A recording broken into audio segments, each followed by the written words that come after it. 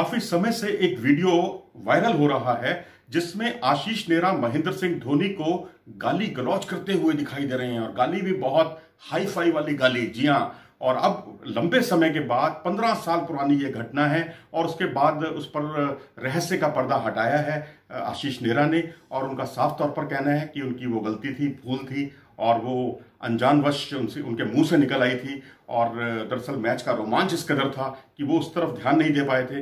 हुआ कुछ यूँ था कि पाकिस्तान की टीम भारत आई हुई थी। विशाखापट्टनम में एक मैच खेला गया, जहाँ पर महेंद्र सिंह धोनी ने 148 रन की पारी खेली और वो मैच भारत जो है जीतने में कामयाब रहा। और उसके बाद जो है पहले दोनों मैच जो है भारत जीता लेकिन बाद के चारों मैच जो है भारत पाकिस्तान से हार गया।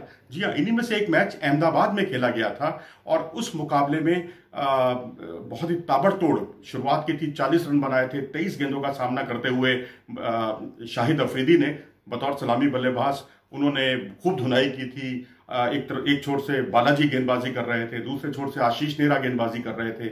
आशीष नेहरा ने यह भी बताया कि उन्होंने उनकी गेंद पर जब एक छक्का लगाया उन्होंने और उससे अगली ही गेंद पर उनका कैच जो है वो स्लिप और विकेट कीपर के बीच से निकला और वो इतना सकपका गए इतने गुस्से में आ गए कि उनके मुँह से कुछ अपशब्द निकल गए महेंद्र सिंह धोनी के लिए और उसके लिए वो क्षमा प्रार्थी हैं और उनको ऐसा नहीं करना चाहिए इस तरह की भाषा का इस्तेमाल उन्हें नहीं करना चाहिए था। और खैर अच्छी बात है कि उन्होंने इतने लंबे समय के बाद अपनी गलती का एहसास किया, लेकिन ये हीट ऑफ़ द मूवमेंट है, ऐसा होना बहुत ही स्वाभाविक है, और इससे कोई भी खिलाड़ी इसे अपने दिल पर नहीं लगाता।